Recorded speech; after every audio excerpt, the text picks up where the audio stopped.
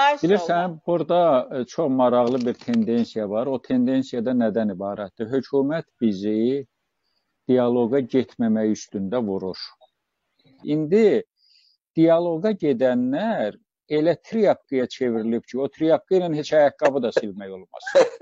doğru, doğru, doğru. Tam bu.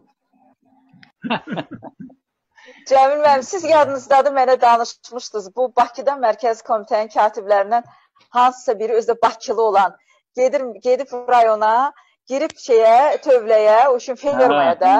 Yadınızda soruşublar ki, deyiblər bu nə qəşəng inəklərimiz var. Bu da deyib ki, e, deyiblər ki, yox bu inək inək deyil də, bu şeydir. Bəs buğadır, hə, buğadır.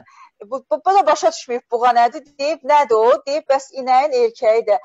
Deyib, hə, demək istəyirsiniz inəyin əridir də.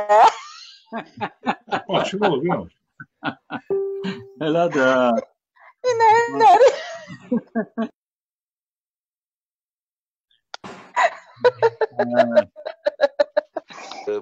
bir mə e, məsələ var. Əs əslində yəni bunu hamımızın e, hamımız görmüşük də uzun illərdir ölkənin siyasətində.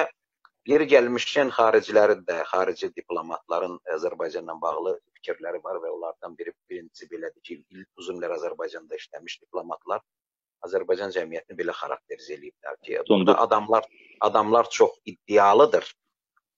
Amma intizam və məsuliyyət xeyli aşağı səviyyədədir. Uzun danışandılar. Nə gözəl uzun dan uzun danışandılar.